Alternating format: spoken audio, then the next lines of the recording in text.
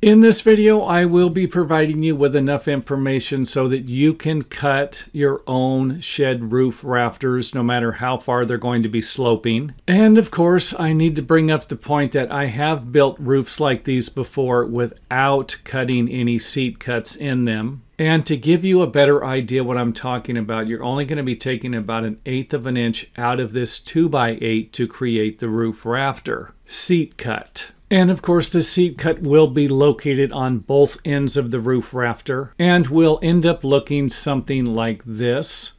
So just a small notch out of the 2x8 or whatever material you're using for your roof rafters. And after you have one laid out, you can use that as a pattern to mark and cut the rest of the rafters. Now before we continue, I just want to provide a brief description of what we're actually doing, how you create a shed roof. And that's usually going to be by having one wall taller than the other wall. So the wall on the right side is going to be six inches shorter than the wall on the left side in our example. And since the span of the building is 12 feet, then that's going to provide us with a half inch per foot slope. And the minimum for this building would be a 3 inch difference in the walls, providing us with a quarter of an inch per slope. And if for whatever reason that kind of doesn't make sense, I can give you a better idea by telling you that we have a 12 foot span. And if there was a 12 inch difference in the wall height, then we would have a 1 inch per foot slope in our roof. And hopefully that makes sense. Take a look at our seat cut. Again, eighth of an inch is the distance here, along with three and a half inches here that would represent the width of the framing plates. Next up, let's take a look at what the roof rafter would look like after it was cut, sitting on top of the building foundation. And again, this is just to provide you with another point of view that might be helpful for you trying to figure out just exactly what we're doing. And of course, here's the six inch difference, which is represented by four one and a half inch thick wall framing plates, or should I say two by fours.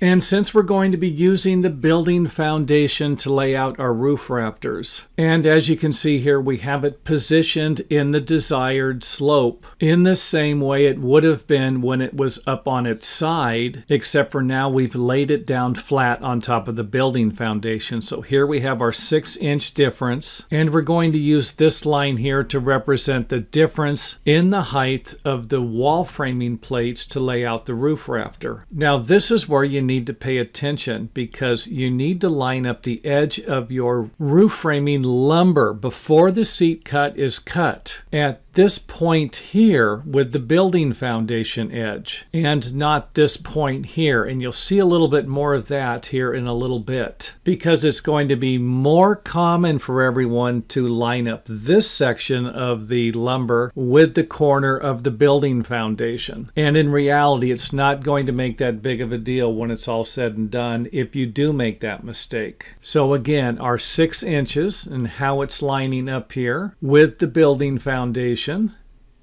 Next up, let's go ahead and get started with our first method. And with our first method, we are going to lay out the six inch marks on the building foundation on one side and on the other side. Then we are going to position the roof rafter materials that do not have any seat cuts in them yet in the proper position. Now in this example here, I'm going to go ahead and line up the top edge of the roof rafter with this point here, which is the point we need to line it up with. We don't line it up with this edge. We're going to line it up with the other side. This is the point we're going to line it up with as you can see here. Otherwise, we're not going to be cutting a notch out for our roof rafter. And hopefully that makes sense. Next up, let's cut a couple of 2x4s and you'll need to make sure that the corners are square, or at least this one here is square, or a 90 degree angle from this edge here. And these can be however long you want them to be. Just make sure that this edge of the block lines up with this edge of the building foundation. And that this point of the block lines lines up with this corner of the roof rafter because we're going to use this right here to lay out and mark the seat cut for our roof rafter. And we can see it right there.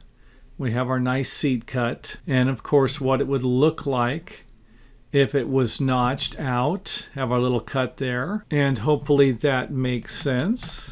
Next up, let's go ahead and take a look at the bottom here to provide you with the reason why we need to line this part of the roof rafter materials up with this point here. And you could always measure over. If you have a wall framing plate that's three and a half inches wide, then you could always just make a mark here so that you can line this part of the roof framing lumber up with this point here and not this point here so that you can lay it out and mark it properly. So again, just another another view of it there. What it should look like when you're lining it up.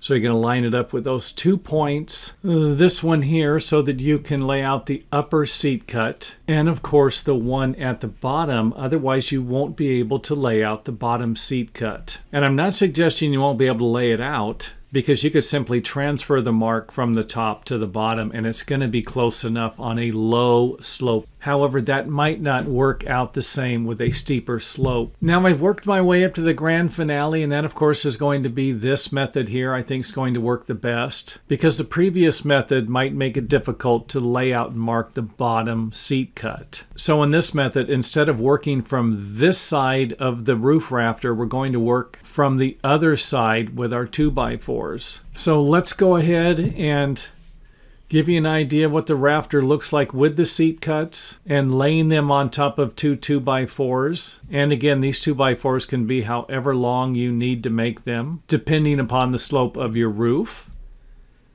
And of course we can see where we're lining it up with this edge here. So let's go ahead and start with our regular lumber that doesn't have any seat cuts in it. And with our 2x4 sitting on top of the concrete foundation that is nice and square. And with the edges lined up with both sides of the building foundation. We can now position our roof framing lumber at the top and the bottom.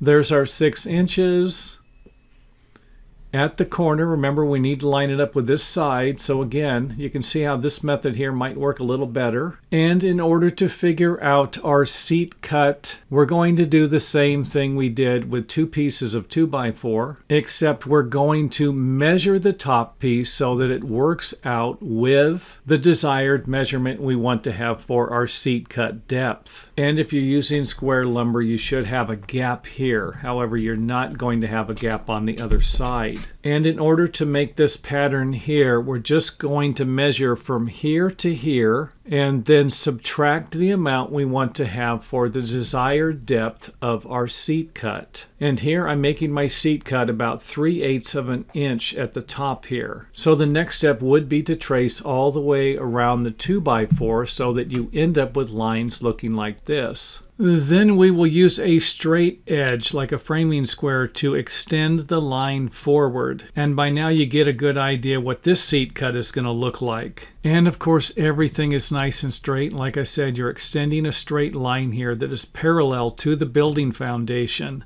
and you're going to do the same at the bottom so that you end up with two seat cuts. And of course we have a new seat cut and this one here is going to provide us with an additional benefit. However, you might not be able to do it all the time. So for example, if you have a structural engineer involved in the project, you might need to ask them if you can cut into the framing lumber. Otherwise, you're going to have to go back to the original seat cut I had that was about an eighth of an inch here because sometimes the engineer isn't going to allow you to notch into the lumber this much. However, as we're going to see here in a little bit, I will provide you with a reason why I did it that way, because it's going to provide us with a better structural connection. However, keep in mind that this is just an additional method, another thing you can do. And often in my videos, I provide you with multiple variations that will provide you with a similar result. And of course, one more thing I need to mention, and this is very important